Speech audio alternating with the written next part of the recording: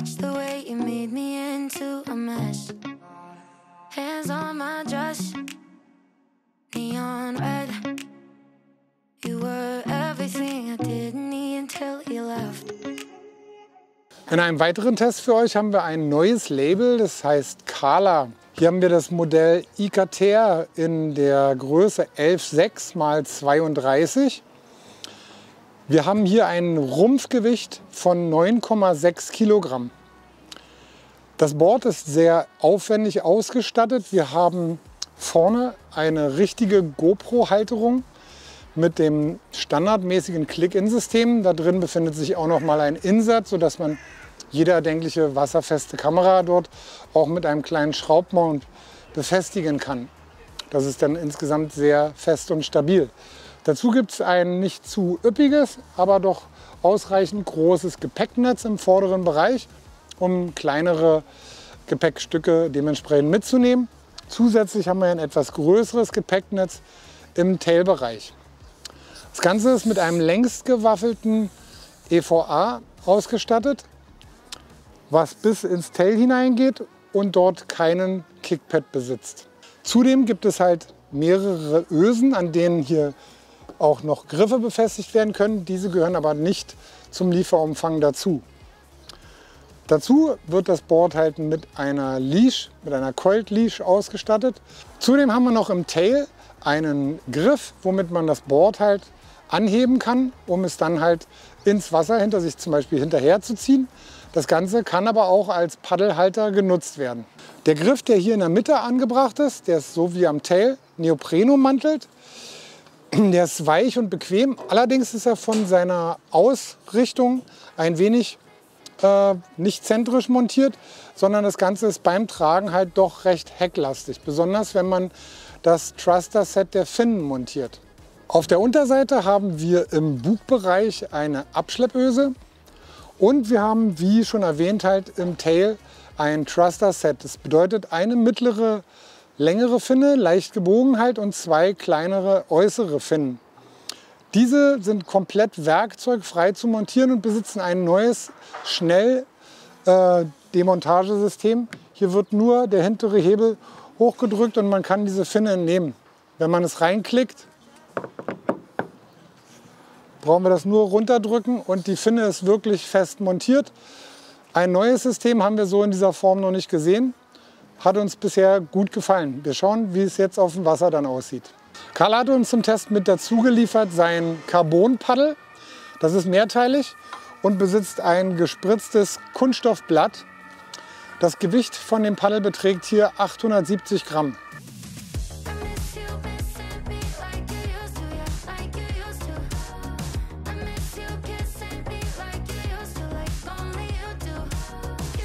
Herzlich willkommen zum neuen Test von Gleiten TV und Subtrip. Ähm, heute habe ich mir den Hauke zur Hilfe geholt, um auch dieses Board mal zu testen in den unterschiedlichen Gewichtsklassen. Das Kala ähm, Ikatere, hoffentlich richtig ausgesprochen von uns, in 11,6 x 32, 6 Inch Dicke, also für auch schwere Fahrer sehr gut geeignet.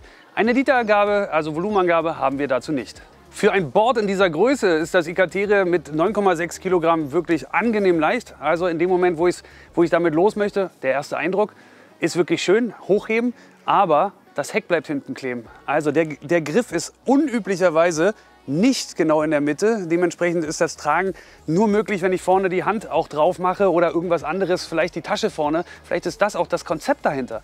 Ich muss erstmal die Tasche, weil es eben ein Touringboard ist, die Tasche vorne reinmachen mit Gewicht drin das, was ich unterwegs habe, damit es ausgeglichen ist. Ansonsten orientiere ich mich eben als Fahrer wirklich immer, wenn ich erstmal hier aufs Board steige, wo ist der Griff und stelle mich normalerweise dorthin. So, das kann ich bei dem Board eben nicht. Eben Thema Standposition, wo muss ich hin bei dem Board? Deutlich hinter, auf jeden Fall hinter dem Griff, abhängig vom Gewicht. Ich wiege nur ein paar Kilo mehr als Hauke, ähm, für mich musste es zumindest im Sprint, da hebt sich das Board eben auch aufgrund der Geschwindigkeit, musste ich etwas weiter nach vorne gehen, was aber auch heißt, trotzdem immer noch hinter dem Griff. Und Hauke, wo hast du gestanden? Ich habe ca. 15 cm hinter dem Griff gestanden und dann lag das Board perfekt im Wasser und fuhr sich auch sehr gut. So, der zweite Eindruck kommt natürlich immer dann, wenn ich aufs Board steige. Wie stabil ist es eigentlich? Da unterscheiden wir üblicherweise die Primary und Secondary Stability, also Wie ist es in der ersten Schwingung? Schaukelt sich das auf? Wir haben hier ein Thruster-Set, also drei Finnen unten drunter, dementsprechend eigentlich stabiler. Ähm, das ähm, Tail als Square Tail ist relativ äh, breit, dementsprechend bietet auch das Stabilität. Dennoch ähm, bietet das Board nicht mehr Stabilität als ein vergleichbares 12.6x30er Board und ist trotzdem aber in einem guten Bereich, aber nicht überragend. In der Secondary Stability, also wenn ich etwas mehr Gewicht wirklich auf eine Seite lege oder eben eine Welle von der Seite kommt und ich das Gewicht schon auf der Seite habe, fängt sich das Board immer noch sehr gut. Also es geht nahtlos über die Primary und die Secondary Stability und ich werde als Fahrer auf jeden Fall nicht überfordert. Ähm, somit ähm, wirklich guter, guter Durchschnitt in den Stabilitätswerten.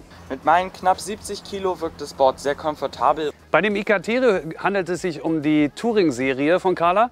Ähm, hierfür ist das Board recht agil, zumindest im Vergleich zu den sonstigen Teilnehmern, Marktteilnehmern, oftmals 12-6er Boards natürlich, ähm, das eben etwas kürzer und trotzdem merke ich eben diese Agilität sofort, etwas unterstützt mit Garantie auch durch die Rockerlinie. Also das Board ist mehr aufge aufgebogen, das heißt die effektive Wasserlinie ist deutlich kürzer nochmal.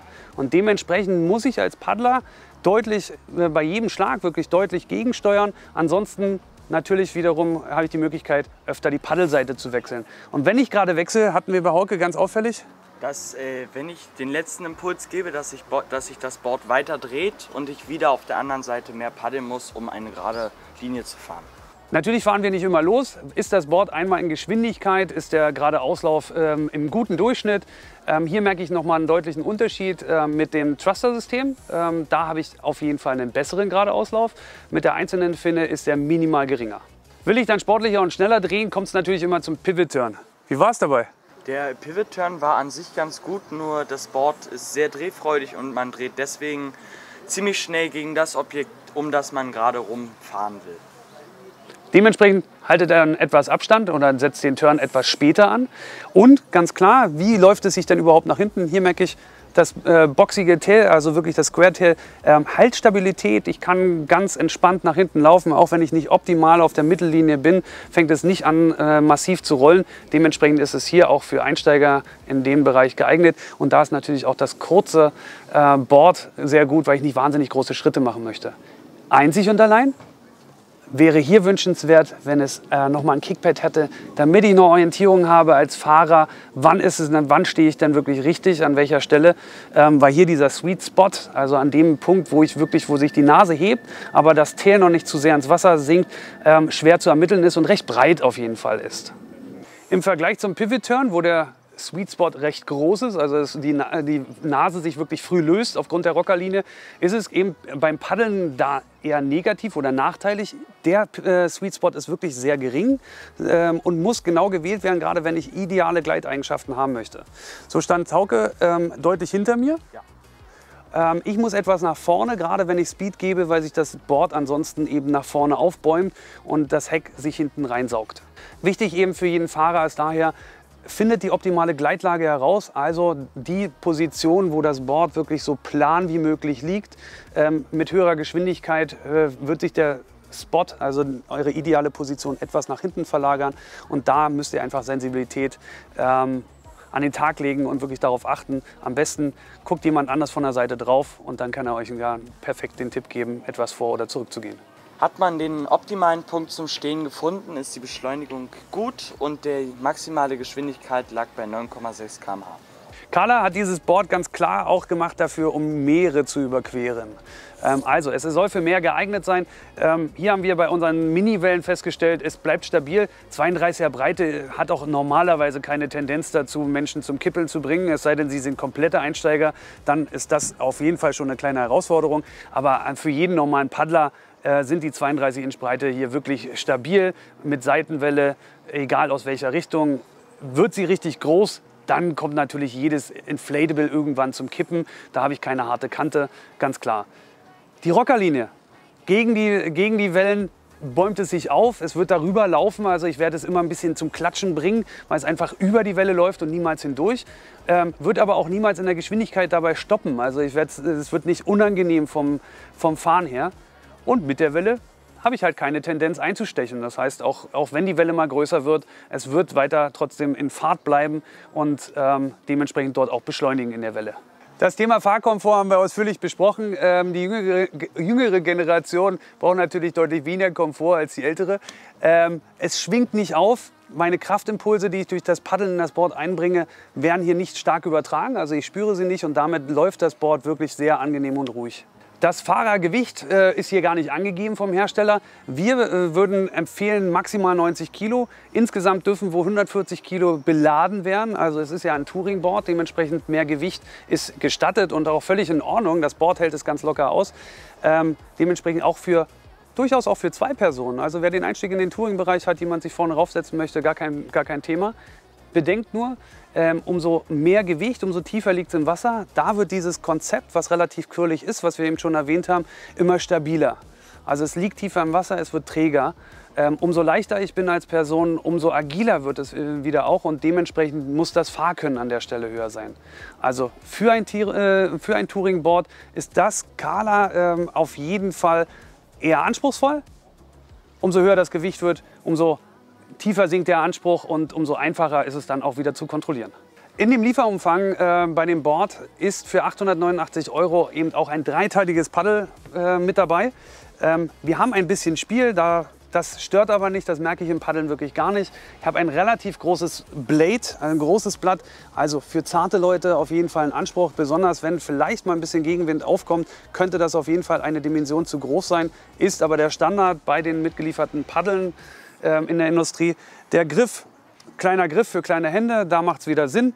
Der Verstellmechanismus oder beziehungsweise auch der, der, die Klemme hier oben wirklich sehr gut gearbeitet. Mal was ganz anderes weiß eben auch noch mal die Klemme in sich noch mal ohne Werkzeug fester ziehen kann. Also wenn ich unterwegs feststelle, Mist, der Griff dreht sich jetzt immer noch, dann kann ich hier einfach festziehen und dementsprechend das Paddel noch mal besser arretieren. Auch werkzeuglos und ärgere mich nicht. Nehmen wir jetzt beim Kala Ikatere wirklich die, ähm, den Lieferumfang, die Fahrleistung und auch den Preis von 889 Euro. Alles zusammen handelt es sich hierbei um ein ganz klar preiswertes und sportlich orientiertes Touring-Paket. Hands on my dress, neon red.